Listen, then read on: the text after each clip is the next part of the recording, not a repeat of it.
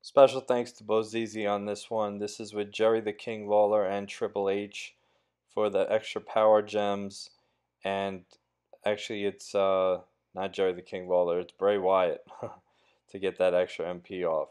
So here we go. We got the 1 MP move. This is a 3 star silver Ricky Steamboat against the gold UF Seth. This is him at silver, not even at full potential, not even moves fully upgraded. He's going to kick out of this because it's an easy kick out. But next turn we've got we've got trouble. We've got more power gems. So this is a total of 10 that were created.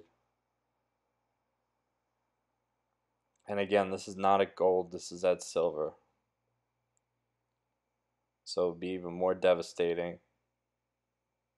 Then we got the move to create the power gems into yellow gems.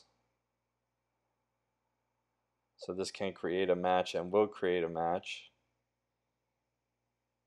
And then the finisher actually does more of a choose to destroy area, but this isn't fully upgraded. So this is just a very small area, but just to show the impact.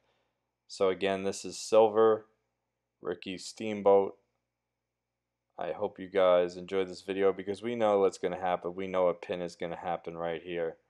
It's just a matter of what. That's a small area, which gets bigger as you upgrade the move. So one, two, and three.